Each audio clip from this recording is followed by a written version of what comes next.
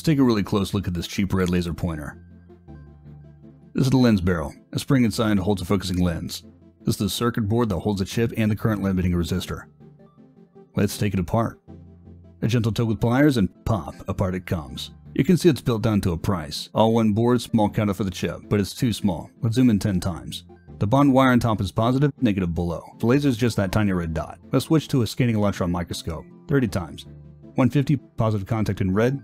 300, purple is the substrate. 1000, insulator in green. 3000 times. The structure is built bottom up layer by layer. You can see the crystals of the gold contact. Now let's zoom all the way in. Here's the substrate, contact on top, and the insulator. And if we get even closer, you can see the P and N cladding, as well as the active P and N area. Let's slice it in half and see how it works. Electrons, negative charge carriers, and holes, positive charge carriers exist in the N and P type regions.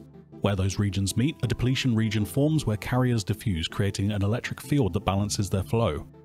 Applying a voltage disrupts this balance, pushing electrons and holes into the active region where they recombine, releasing photons. With enough voltage, more electrons occupy higher energy states, creating a population inversion.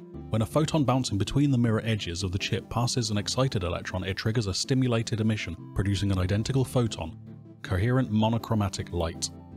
This cascades, so we get light amplification by stimulated emission of radiation, or laser.